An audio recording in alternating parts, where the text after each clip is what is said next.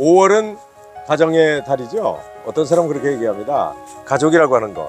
누가 보는 사람만 없으면 갖다 버리고 싶다. 그렇게 얘기를 하는데 하나님 안에서 가정이라고 하는 것은 구약에서는 가정, 신약에서는 교회 공동체를 얘기한다고 얘기할 수 있습니다. 그만큼 가정이 굉장히 중요한 거죠.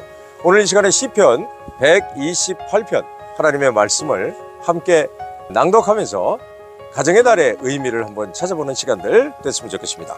시편 128편입니다. 여호와를 경외하며 그의 길을 걷는 자마다 복이 도다. 내가 내 손이 수고한 대로 먹을 것이라. 내가 복되고 형통하리로다. 내 집 안방에 있는 내 아내는 결실한 포도나무 같으며 내 식탁에 둘러앉은 자식들은 어린 감람나무 같으리로다. 여호와를 경외하는 자는 이같이 복을 얻으리로다. 여호와께서 시온에서 내게 복을 주실지어다. 너는 평생에 예루살렘의 번영을 보며 내 자식의 자식을 볼지어다.